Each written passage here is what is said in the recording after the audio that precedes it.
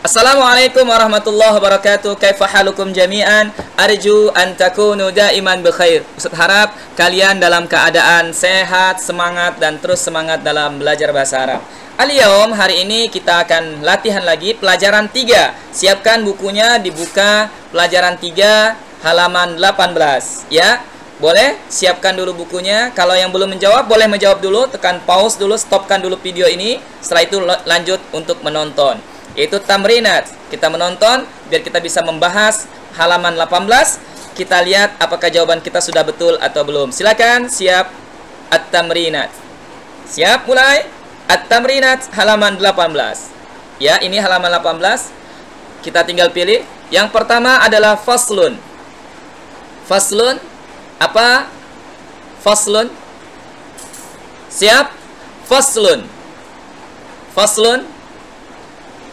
Kurang semangat. Faslun. Apa? Wah, luar biasa. Faslun adalah Alhamdulillah, faslun adalah apakah? Kelas, meja atau bangku?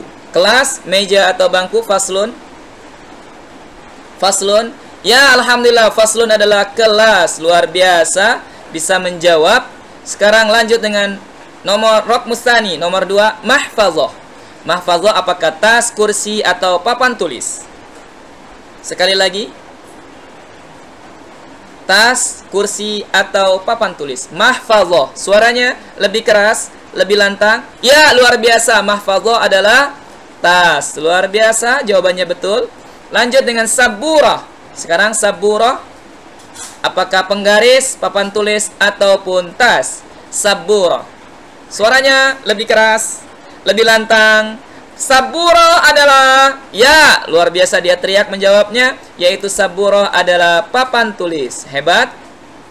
Sekarang meja, maktab. Maktab. Maktab jawabannya adalah, ya tadi dapat bocoran luar biasa. Maktab apa? Maktab? Wah, maktab apakah bangku, meja, ataupun kelas? Jawabannya adalah Wah, luar biasa. Udah tahu Ustaz, maktab adalah meja. Lanjut nomor 5. Apa nomor 5? Kursiun. Wah, alhamdulillah. Kursiun apa?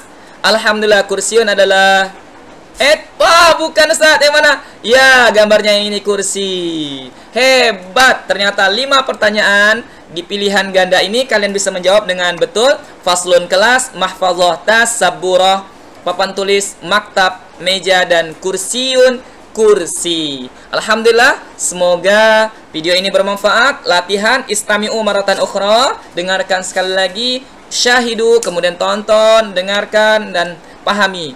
Fasal, mahfazah, sabura, maktab dan kursi. Ilahuna nakhtatim bi qiraatil hamdalah. Alhamdulillahi alamin. Assalamualaikum warahmatullahi wabarakatuh.